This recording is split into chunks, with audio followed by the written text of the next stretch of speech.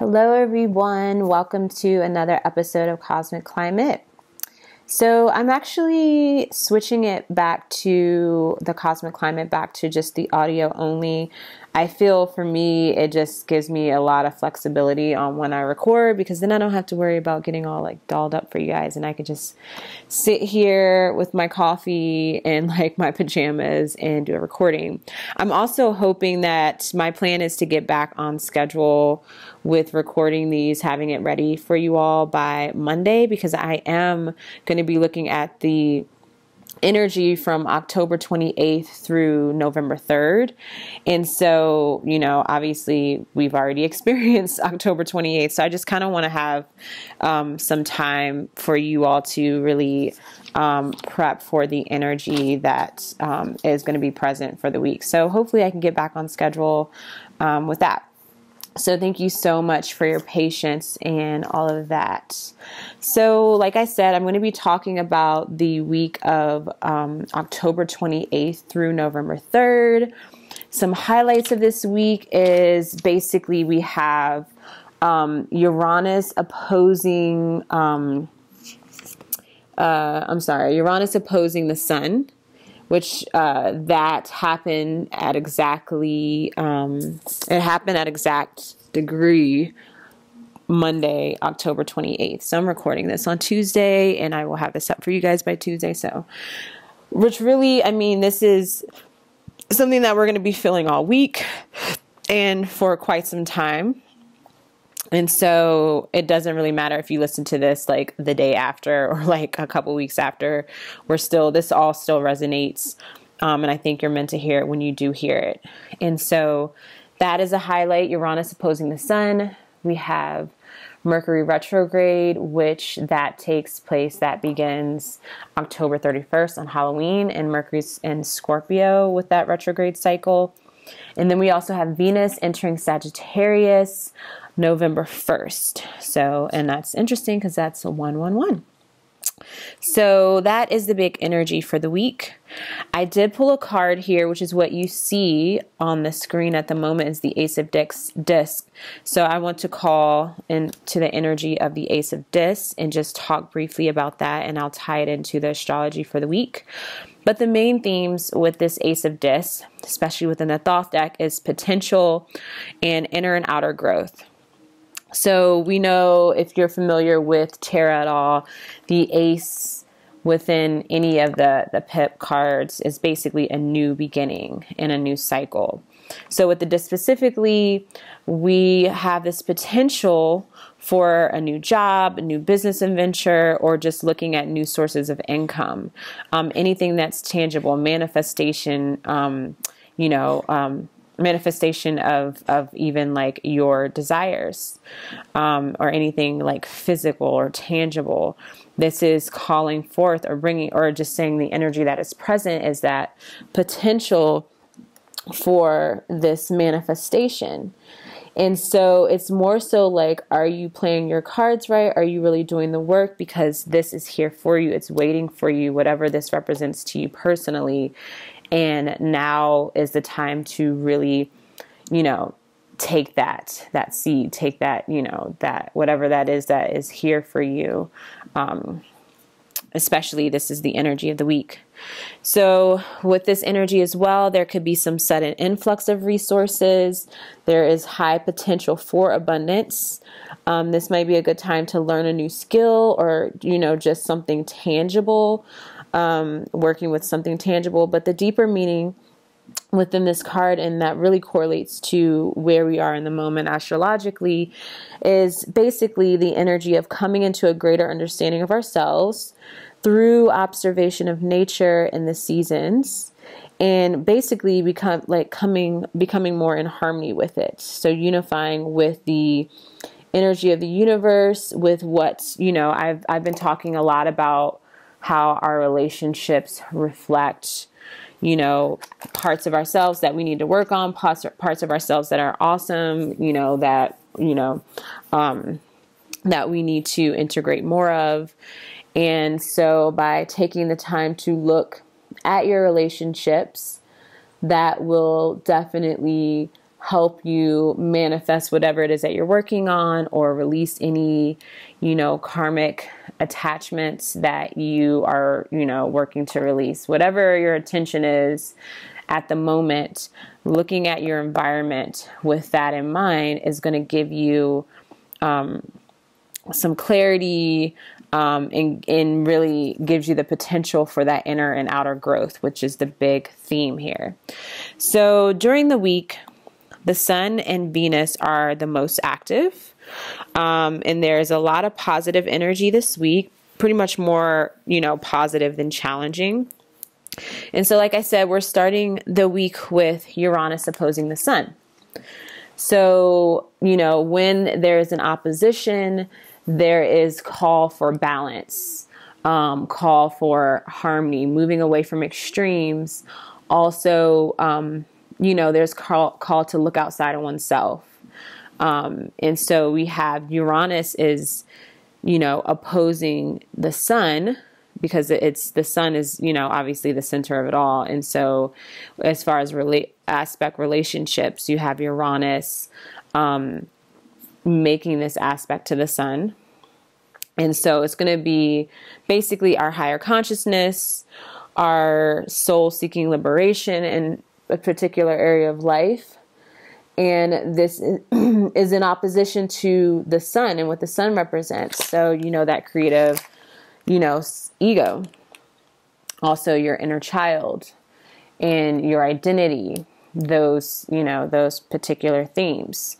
And so, this relationship is calling us to balance you know, that need for liberation from whatever we're feeling um, constraint or you know wherever we're feeling trapped within our lives and feel like we just can't get it together and can't release ourselves the way to really help ourselves um, let go is to integrate more of you know one what your sun sign represents using that as a tool is one and then also um, you know, working with your inner child could be one if you're having some um, inner child things comes come up, or just like tapping into your creative self and what you have to present to the world, or just getting out and be social and being playful and doing something fun. That will naturally help you, you know, let go of whatever it is you're holding on to because Uranus is in Taurus. And so we are dealing with our resources on an individual level. We're dealing with our comforts and securities, you know, those foundations that aren't sustainable anymore. Our soul is wanting, is calling for us to release that. Um, and the sun is in its opposite sign. Obviously, there's that opposition. The sun is in Scorpio. And so that is really calling for us to you know integrate more with the the partner integrate more with our within our relationships or even you know integrate more with a deeper relationship within ourselves. And so it's just going deep with that that that creative ego and that inner child in order to really liberate ourselves from whatever it is that we feel like we can't let go of. Um, Another point to make with this, um, to point out with this Uranus opposing the Sun, and Uranus is is retrograde at the time, at this time, and so whenever a retrograde cycle makes a big aspect to the Sun, where there's like an opposition or conjunction, this signifies the halfway point of that retrograde cycle. So on October 28th, Uranus retrograde um, cycle reached its halfway point, and so we're halfway through. And so, what this could bring forth is aha moments, particularly in areas of life ruled by Taurus, you know, in your chart. Also, wherever that natal Uranus placement is, you might receive some aha moments with that in your particular chart and also looking at the second house and the 11th house because the second house is naturally ruled by Taurus and the 11th house is naturally ruled by Uranus. Or you can even go even deeper and look at where Aquarius what house Aquarius rules in your chart and see what's going on there and if there are any planets in, in Aquarius and if they're making any aspects to Uranus. So that'll give you some some insight. So you might receive some aha moments in regard to, you know, some things that you are working with and, you know, even where Uranus is that the transiting Uranus is um you know activating what area of life that that transit is activating in your own chart so you can get an idea of what is being called for ba- into balance and how you can be one objective and really also how you can you know look at that that feedback from your environment like going back to that ace of dis where you are looking at nature and seeing what it has to tell you um, and, and becoming more um, harmonized with that because that's a big thing with with the opposition um, energy is calling for balance. So we also have, like I said, Mercury retrograde in Scorpio. And that begins October 31st. I'm going to do a separate video on that as well. But just to briefly talk about Mercury retrograde in Scorpio, um, I've talked about it before, and what I really feel, what I'm channeling, is that this Mercury retrograde is really calling us forth or calling us to um, and guiding us to really go deep within our subconscious to really get a, a, deep understanding of our subconscious beliefs especially if we are actively working on manifestation of some intention or if we're, act, we're actively working on um, just working through our shadows and our you know challenges within the self and looking for that inner and outer growth um, this mercury retrograde is a good time to really go deep within your belief systems because we do create our reality from our subconscious beliefs. And so we want to be able to go deep within that, bring forth whatever's in the subconscious, whatever we're struggling with and having challenges with, like really thinking to ourselves and really um, taking that time to understand or try to understand where that initially came from, you know. And at first, it's going to be, you know, you're going to really think back, I feel like everyone has, you know, when it comes to challenges, there's some indicator within that early childhood environment that um, will have some correlation, excuse me, to whatever those challenges are, whatever's going on deep within the subconscious. Definitely looking at your moon placement, that will give you some understanding.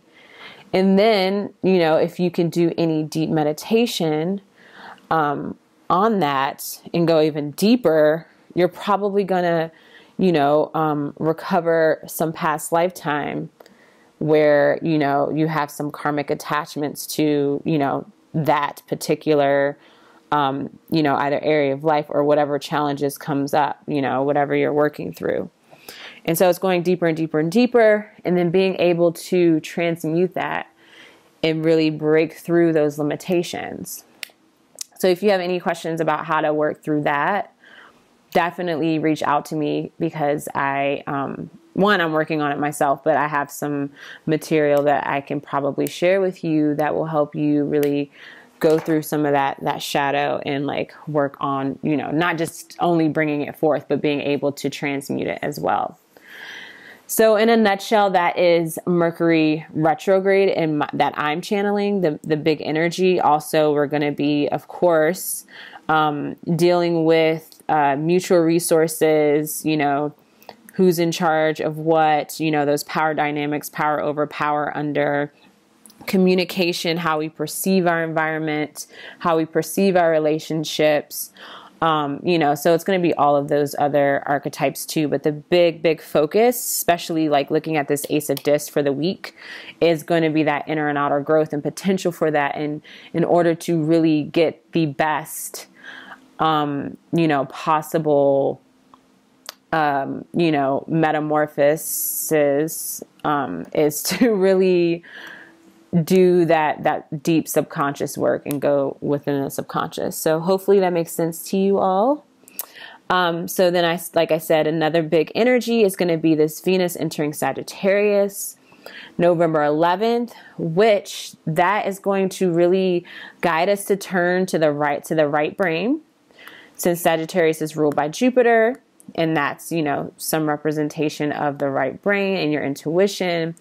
And so with Venus entering Sagittarius, it's asking, it's guiding us to really tapping into that right brain and asking those questions, um, those bigger picture questions, and just looking at the broader perspective of all of these things. Especially with Venus, you know, having that rulership of Taurus and Libra, we're still working within relationships.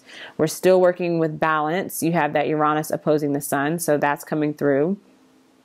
And also, we're still working with um, you know, like I said, the relationships and our values, especially with that Uranus being in Taurus. And Uranus is going to be in Taurus for six, about six years, six more years. It has a seven year cycle. And so um, this is really asking us to look at the bigger picture and trying to get like us, like a deeper yet broader perspective of what's going on here. And so that's something that you want to keep in mind during the week. And that's going to be more so towards the end of the week. But Venus entering Sagittarius is going to be um, a nice little shift for us. And um, this will just help us, you know, like with Sagittarius energy, it tends to be, in my personal opinion, a lot lighter.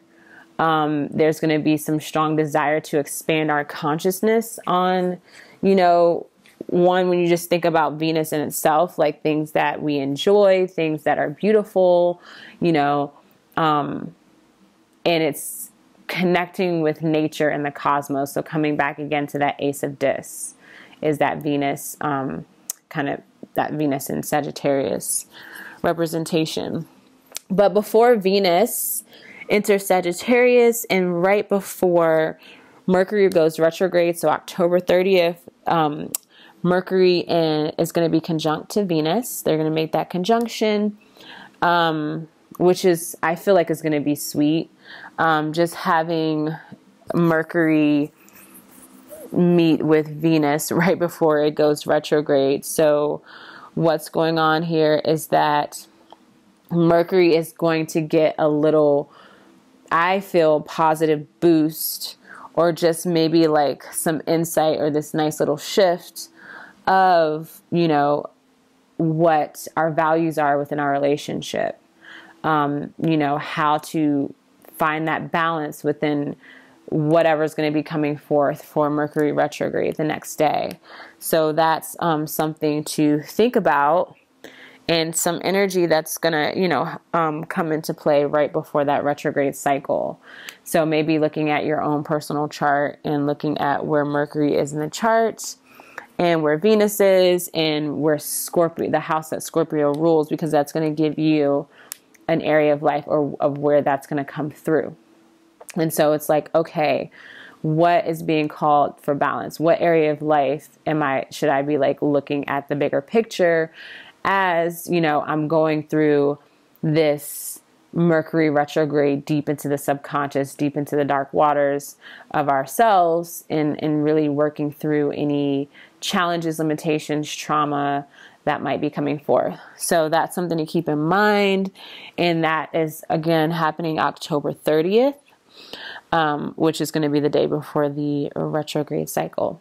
And so I think I feel complete with this. Um, the sun will be trining the north node at the end of the week. And so, like I said, we have this energy of the sun in opposition to Uranus, which is going to be, you know, you can have some, we can experience some aha moments, but we can also experience um, a lot of friction if you're resisting that liberation from past comforts and outdated, you know, foundations and things of that nature, um, then you might feel a little bit of friction and pull from that opposition.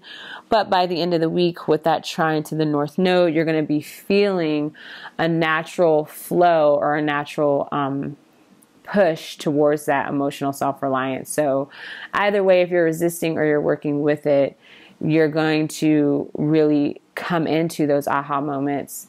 Um, and really find some relief within your your sense of self, your confidence, your creative endeavors, you know, that relationship with your inner child. Um, and you're going to feel some flow between that and just gaining some emotional self reliance or just nurturing that part of yourself um, by the end of the week.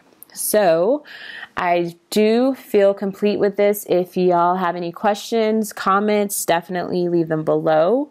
I am still offering Scorpio season um, personal astrology readings, and that, that offer goes up until October 31st.